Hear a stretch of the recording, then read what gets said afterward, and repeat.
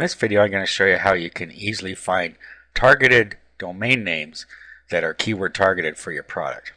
Now it's a well-known fact that having a keyword phrase in your domain will help you in the searches.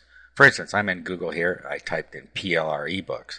Now if you look at the results at the top here, in the domain name we have, it's the plrstore.com slash ebooks, but you'll see PLR and ebooks are both in the domain name here.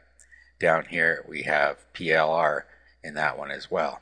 They're ranking near the top. PLR ebooks. Ebooks. Okay, so you see how this works. It's important to have your main keyword in the domain name.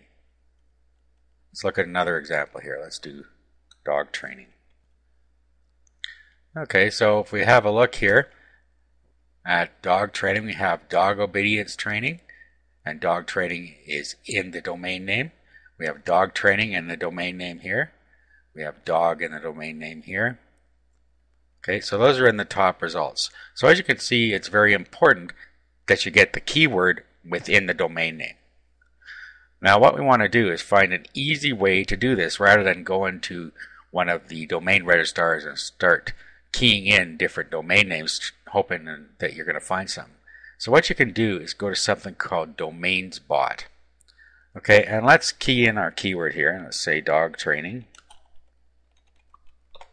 Do a search. Okay, and then it brings us up some good alternatives here. It tells us which ones are back ordered, and if they're for sale, it shows them up here as well. And then it gives us available domain names down here.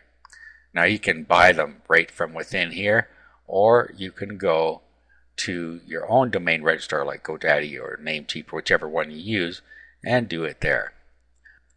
So that's an easy way that you can find keyword targeted domain names when you're creating a new site.